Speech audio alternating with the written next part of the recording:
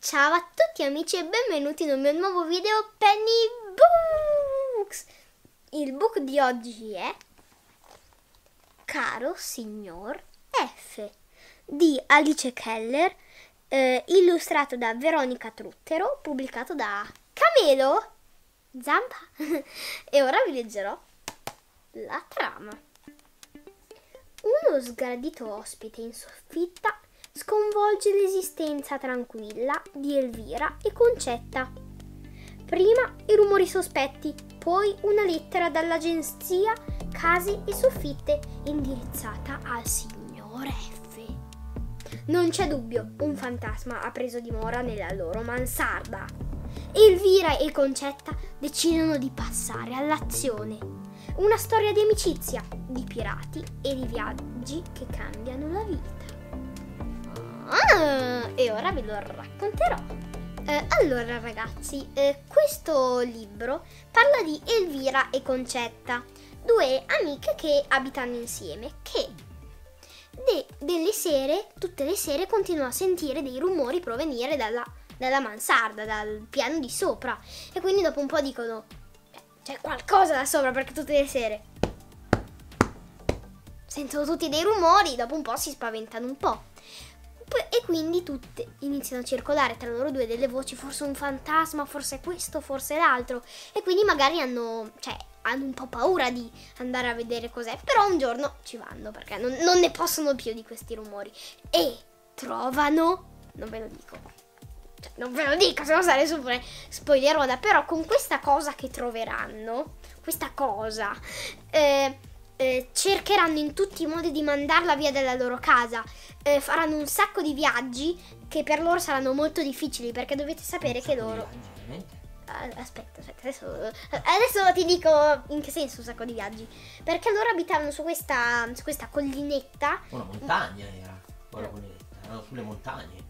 Sì, però cioè, no, non era proprio miliardi di, cioè, scusate, miliardi di chilometri, era una piccola montagna. Una montagnola, una montagna, cioè non così, una montagnetta, okay. né grande né piccola. E un po' isolati dal, dal, mondo, cioè non dal mondo, però vivevano poche persone in quel paese, paesino. E per portare lontano questa cosa che trovano nel, nella soffitta devono andare giù, giù, giù, giù, giù, giù, giù, per allontanarla tantissimo e per loro sarà un po' un'impresa perché lo, a loro non è che piace proprio tantissimo andare giù perché non conoscono niente, sono sempre restate, sono sempre vissute qua, non conoscono niente di giù, quindi hanno anche un po' paura, diciamo, di andare giù, però poi lo portano, poi ritorna e quindi poi ci saranno un sacco di viaggi che loro faranno da su a giù, su a giù, su a giù, su a giù. E però quindi diciamo che questa storia è una storia abbastanza divertente, però eh, quando c'è da capire cosa c'è di sopra, quando si dicono forse c'è un fantasma, forse questo c'è un po' di suspense, non è horror, eh, però un pelino horror quando si dice che forse c'è un fantasma. Allora, eh, la cosa che mi è piaciuta di più di questo libro sono i personaggi, soprattutto le due protagonisti le due protagoniste Elvira e Concetta, le due amiche che vivevano insieme. Perché sono molto amiche, sono migliori amiche, credo, perché cioè, vivono insieme, però sono diversissime fra loro. C'è Elvira che è un po' grassottella, è la più paurosa di tutte. Infatti è lei quella che ha messo che aveva messo nelle loro teste c'è un fantasma, c'è un fantasma, c'è un fantasma, quella che non voleva andare a vedere in soffitta cosa c'era. E poi invece c'è Concetta, che è proprio il contrario di lei. Lei è magretta, adora i pirati, quindi è super coraggiosa, ma non adora solo i pirati, adora anche i pirati, ma adora le cose del mare, le cose marittime si dice marittime, e lei adora tutte queste cose, quindi è stracoraggiosa. È lei quella che voleva andare in soffitta a vedere. Per il problema. Eh sì, il problema perché cioè, adesso basta, sono un po' cioè, stufata. E lei è quella che diceva, ma secondo te c'è il fantasma, ma secondo te, cioè, è quella un po' più reale. Ma c'era il fantasma? No. Ma come? Non lo diciamo. Eh, eh, beh, non c'era un fantasma, ma c'era qualcosa. Ah. Che non vi dico cosa. Ah, ok. Già vi ho spoilerato che non c'era fantasma, poi se vi spoilerò anche cosa c'è. Quindi Eh, vabbè, anche la cosa che troveranno in soffitta, mi sto impegnando tantissimo per non dire cosa c'è.